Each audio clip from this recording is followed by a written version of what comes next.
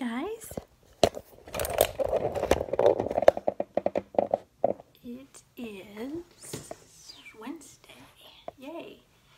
I am Tracy Gohrick. I am an energy healer and a spiritual mentor. I work with undiagnosed illness. We look at alternatives to find answers and heal.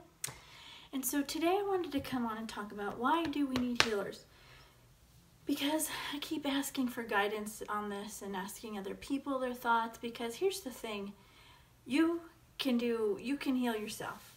Um, but why apparently healers were brought into this into to earth to help people is because we get so inundated and we have so many lessons we go through that it's hard for people to pull themselves out or even think and even try to do the stuff that they need to do to heal.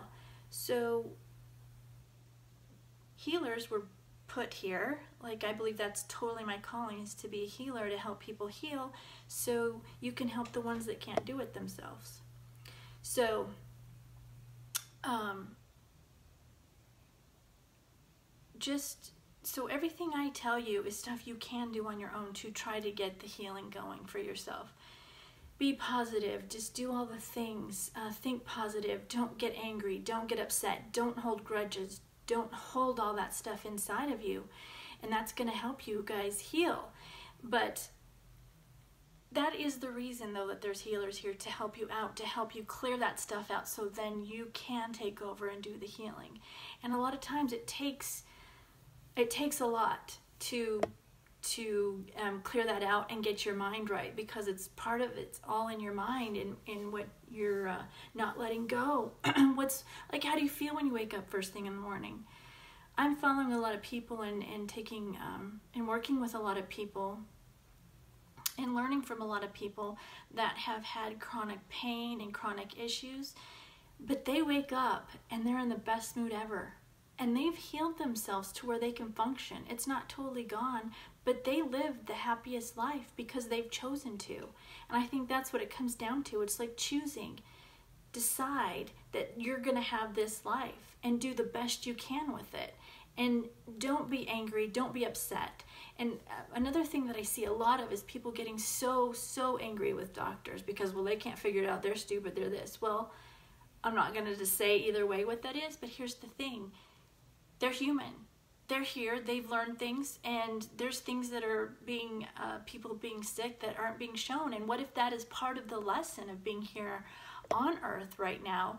Is that we need to rely on ourselves and get help in other ways and not real, like have put doctors up on this pedestal like they're this be all know all because it's not necessarily always the case.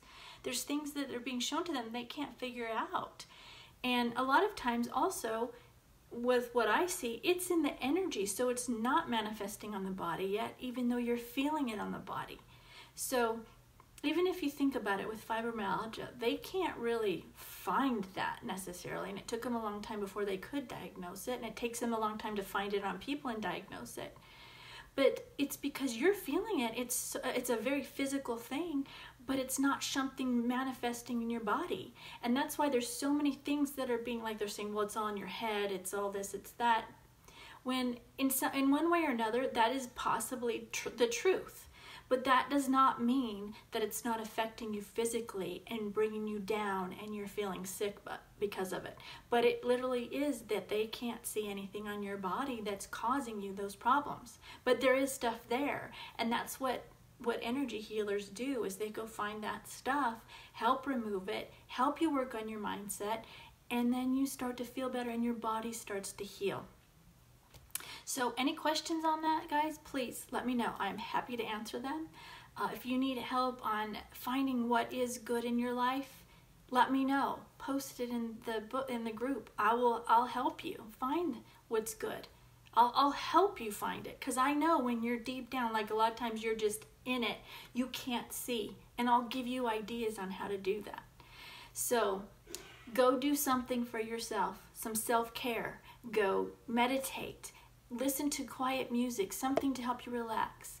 Um, do a soak bath, like an Epsom salt bath. That's a detoxing bath that helps you feel so much better. Then go do something that you love. Watch a movie you love. Sing, dance, something that would lift your spirits then uh, this is another one I'm going to add. I hope I remember to do it every time. Don't watch negative TV. Don't watch the news. Don't watch shows that get you your heart rate going that are stressful. Those things do cause you harm. And I the more you can raise your vibrations, the more you can feel the difference when you don't watch it to when you do. Um, and it's definitely so you want to watch uplifting shows and some of them even are like america's got talent or the voice or um, the masked singer those i've noticed are really happy and they have fun and uh, for the most part there's not anything that's going to drag you down so be careful in what you watch on tv or what you listen to and then um, go do something, say something nice to somebody else. Lift you and them up. It will make their day and it will help you. And it's amazing. Watch watch how people react when you say something nice and when you see something in them that you like. Um, just an example, there's this lady at a drive-through that I go through and I love her and she just makes me laugh every time. And I always tell her, "Oh, there's my favorite um, drive-through girl." And it makes her day. She's so happy after I've done that, and then I'm happy.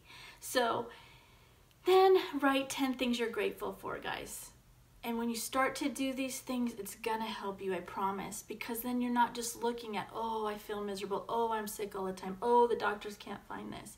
You want to start picking the things in your life that are happy and good and bring them to the forefront in your face. So you then can change your life and you can heal. I am here to help you. I can help you clear out what's going on to help speed it up.